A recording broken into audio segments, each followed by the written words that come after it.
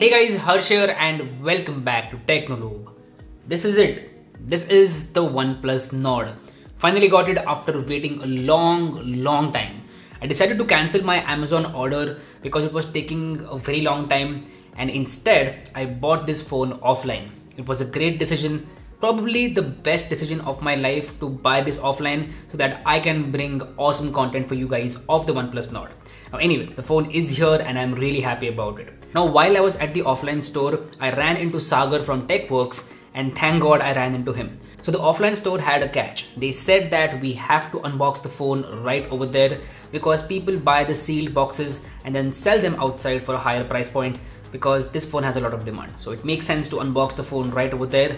And I'm really glad that I ran into Sagar from Tecworkz. He had a camera and he helped me shoot the unboxing over at the store. Now without wasting any more time, let's go to OnePlus Experience Store and let's see how the experience was at the OnePlus Experience Store.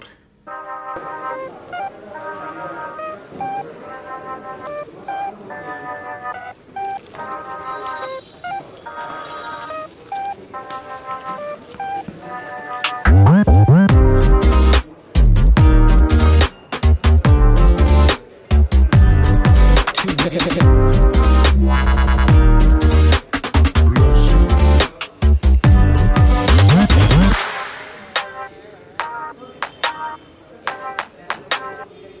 you.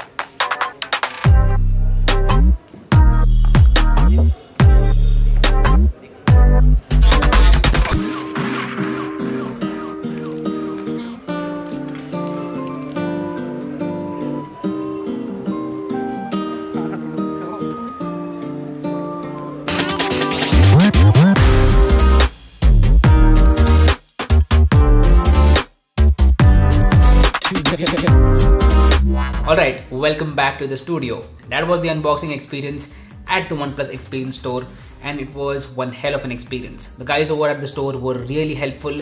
They allowed us to shoot in these situations where they can allow only a certain people inside the store. So a huge shout out to them. Now anyway, OnePlus Nord is here and if you ask me, my first impressions about this phone are really good. As soon as I unboxed the phone and held it in my hand for the very first time, I instantly realized that it is a premium phone. It did not feel cheap at all. In fact, it gave me the almost same feeling as I got with the OnePlus 8 and that says a lot about this phone. Now I know a lot of you guys out there are going to ask about the plastic frame. Honestly, if someone did not tell me that it is a plastic frame, I wouldn't even realize that it is a plastic frame. So the plastic frame did not bother me. Obviously, it would have been better to have metal because metal is more premium than plastic, but it did not make a difference at least to me. Anyway, moving along, let's talk about that beautiful display. So the OnePlus Nord comes with a full HD plus 90Hz AMOLED display.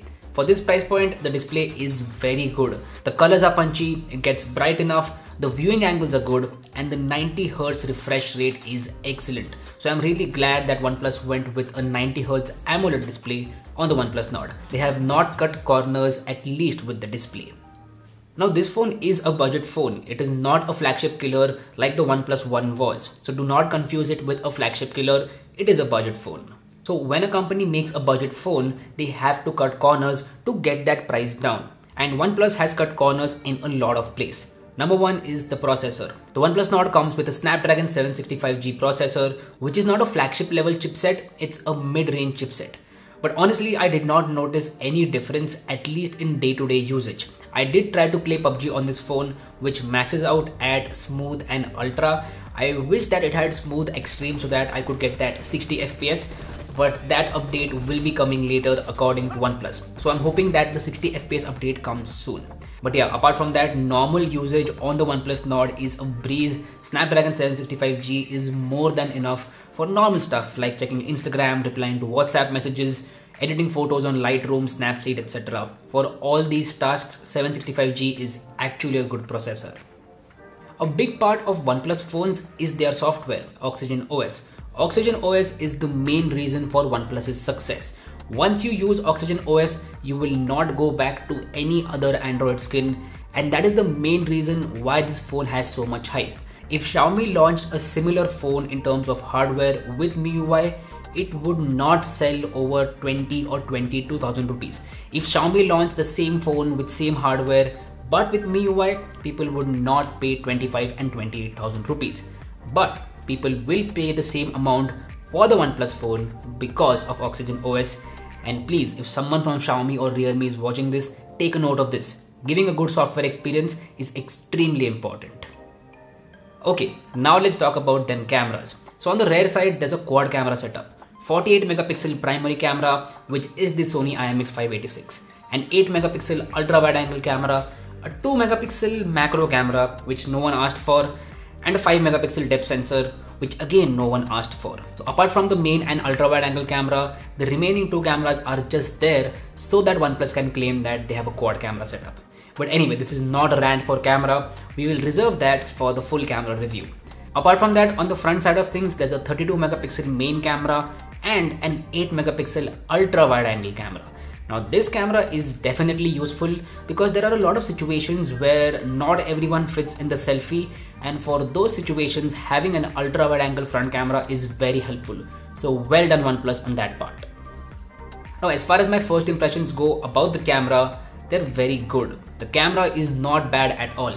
I thought that I would not like the camera, but that's not the case. I actually like the camera on OnePlus Nord. It clicks some really good pictures. The dynamic range is excellent. The white balance is surprisingly good and the colors are also surprisingly good. Now this makes it a big problem for OnePlus 8 because OnePlus 8's camera is not up to the mark for its price point. OnePlus 8 starts at 42,000 rupees and for that price point that camera is not good. But for this price point, 25,000 rupees, the OnePlus Nord has a good camera setup. Obviously, I will be testing the cameras further and I will make a dedicated camera review and also Google camera. That's why if you haven't yet, hit that subscribe button below because you don't want to miss those videos. OnePlus Nord skips out on the headphone jack. I don't know why OnePlus removed the headphone jack from this phone. It was absolutely unnecessary. They could have included a headphone jack and that would have made a lot of difference because at this price point, the headphone jack does matter. So I personally don't like the fact that it does not have a headphone jack. Now this phone has an in-display fingerprint sensor which is not that fast. It is slower than the OnePlus 8 series and I can clearly see that. I have been using the OnePlus 8 for the past couple of weeks and when I shifted to the OnePlus Nord, the fingerprint sensor definitely felt slower. Also, the fingerprint sensor is placed very low on the phone. I don't know how I feel about this. It's a little uncomfortable. I would have liked it if the fingerprint sensor was a little, you know, further above, like it's very low right now. Apart from that, the OnePlus Nord has a 4100 mAh battery and it does come with 30 watt fast charging. So that is a good thing. Now again, I will test out the battery life in the upcoming days and stay tuned for future videos. Overall, as far as my first impressions go, I'm gonna say OnePlus Nord impressed the hell out of me. I am really excited to use this phone in the upcoming days and make more videos on it for you guys. That's about it for this video. I hope you liked it and if you did, then make sure to smash that like button. Also, if you haven't yet, please subscribe below, it would mean the world to me. My name is Harsh Punjabi and I'll see you guys in the next one. Bye bye.